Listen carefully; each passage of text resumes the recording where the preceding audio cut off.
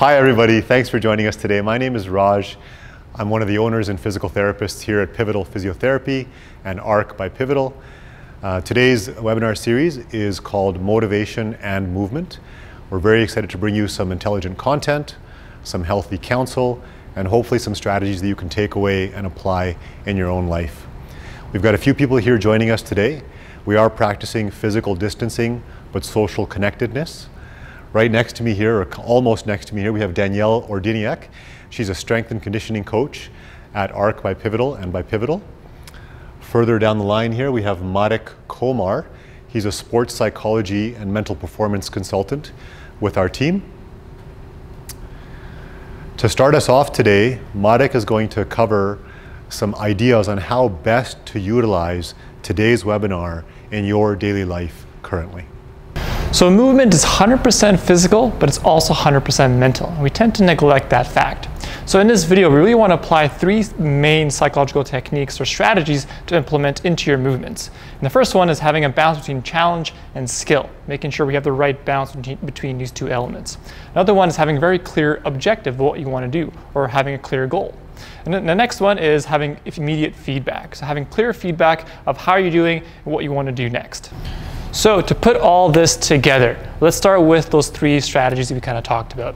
So the first thing we need to do to set up ourselves for optimal motivation and performance is having a very clear objective for ourselves. So we can put our goals definitely on a whiteboard, put it on a, on a journal, anything you want to do just to set yourself some clear targets. So set them and check them. So we got our water down, we put that off, check that off, right? We move on to our little thing. We have our timer. We put ourselves, hey, we need to move every 30 minutes. Timer went off. We need to get down to, to, to business here, do some recovery stuff, do some movement, do a little bridges here, right? And also understanding progressing with the challenge and skill balance, right? Understanding I need to understand when do I need to progress here? Is this too hard? Is this too easy? So um, checking in with yourself. So that ties into our also our feedback as well. So if we can check out and reach out to our tele-rehab uh, physio, or if we can't do that, record ourselves and make sure we have some targets on, on, for ourselves for, for our stretches. Where do I start our movements? What's my baseline? How can I progress from here? Right? These are all important aspects to consider. So having a very clear target for yourself daily, weekly, monthly, celebrate the little wins. Right? What can I do to celebrate my little achievement for today? Even if it's just 30 minutes of movement a day, that's a big win. So let's celebrate it, right? So so again, to recap all those three strategies to get ourselves moving for optimal motivation and performance, have a clear target for yourself. Right? Even if it's a small little thing, any little small little thing will help us uh, get that hit of dopamine for, for the day, helps us move on and keep us motivated for the next thing. Have ourselves immediate feedback. If you can't have external feedback, such as uh, tele-rehab physios, record yourself but also include internal feedback. So make yourself some little targets, the way you speak to yourself, and also understand, check in with yourself. Are you too challenged? Are you not challenged enough? Make sure you check in with yourself and keep that 4% rule uh, in, in, mind when you're moving on uh, with these progressions, right? So that's how you kind of talk about motivation and movement. These are all three strategies we can use from a psychological perspective to tie in with that physical movement. Thank you everybody for joining in and for listening to this webinar series.